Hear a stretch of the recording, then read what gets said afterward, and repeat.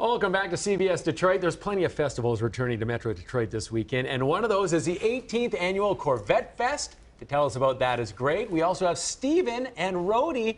They're from Partner Oh Leader Dogs. Look at that. You know, Greg, it's hard to be upstaged by a dog, isn't it? Well, Rhodey's dogs and. Corvettes, I mean, they're synonymous They're with GMC of Corvette set. That's right. We've like- been we've been sponsoring, or we've been a they've been our uh, lead charity for the past 47 years.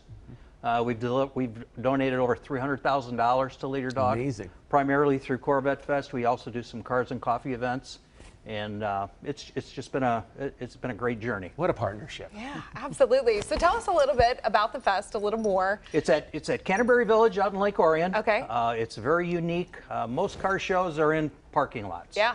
Ours, all the cars are scattered through Canterbury Village. So you've you got you've got shade, you've got places to eat. there's Already a lot of- beautiful setting, Yes. and then you add the Corvettes. Oh, and it's just it's over the top. It's Those over the top. Incredible. So, do you have anything new this year? Do you add anything to it each year? Um, we we've added a couple new raffle. We added a new raffle last year. Um, wheelbarrow of cheer and uh, like a wine and dine thing, which Very was nice. extremely successful. So we're doing that again this year. Uh, we have a silent auction tent. We have, we have I believe, over 200 items. A lot of them are Corvette related, but a lot of them are also gift certificates to restaurants. Uh, we've got some uh, golf certificates that people can bid on.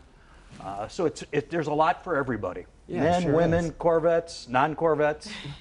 I was just about to ask you, you said a lot for everybody. Are, are some people bringing out the kiddos to this? Oh, absolutely. Oh, yeah. This is an extremely family-friendly Yeah. uh, thing. I, I I mean, because Canterbury Village, I mean, you can walk through it. There's a lot of different shops, and uh, hey, we got to get kids started early on Corvettes. All So absolutely bring kids. I'm looking at uh, Rhodey, and Rhodey looks like uh, maybe a nap's in order, an early morning. uh. Stephen, tell us a little bit about Rhodey and how if people want to get involved in the program, how they can. Absolutely. So leaderdog.org, uh, that is the main location for all information. We're, we're, we're looking for puppy raisers, breeding host homes. That's our biggest uh, need right now. So uh, Rhodey is uh, eight weeks. He's ready, waiting for that uh, uh, family to pick him up and uh, lead him on the next 12 months of his journey. That is incredible. And they can. And you said Rhodey's a temporary name, right? Correct. Yeah. So, as a, uh volunteer puppy raiser, you get the opportunity to name the dog. So they could keep Rhodey or change it to whatever they want. Rhodey's so cute. I love Rhodey. It's very See? appropriate for what we're talking about. Just following the. Corvettes around. You a Rhodey Right? buddy? It's got the Oh. hiccups right now. Oh, the hiccups. Oh, How there cute. you How go. cute. Um, Precious. okay, uh, so where can people go if they want to get involved in Corvette Fest? Do they go to the website? Can you get tickets Website at the G- door? GMC Corvettes at uh, advanced reservation er, is already Okay. closed. We closed that last night, but you can register at the show.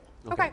Uh, as of yesterday, I believe we had 102 pre-registered cars, which is a all-time record for us. Last It year we is, only had okay. 69. That's awesome. We had 114 total. So if we if the ratio is the same, it's going to be we could have 130, 140 Corvettes there. Favorite model? Can you divulge it, or are you uh, just Corvette My lover favorite all model. over? Well, I have a C6. okay. So, but uh, they're all great. You know, everybody has their own.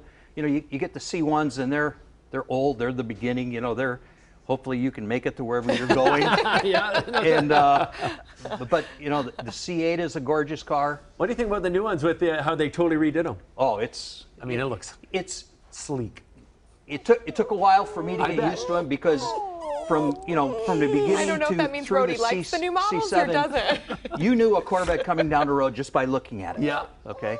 C8s came out. Okay, is that a Corvette? Is that a McLaren? Is that a Ferrari? Until you pick out the little nuances. But now that they've been out for four years, it's very easy to pick them out. Somebody needs a snack or something, Stephen. I don't know what's going on. Taking everything in The me to keep my are butt in gone. this So- chair. That's right. Rhodey's getting excited about Corvette Fest. So He should is. you. He That is awesome. We will have puppies out there, a couple puppy raisers.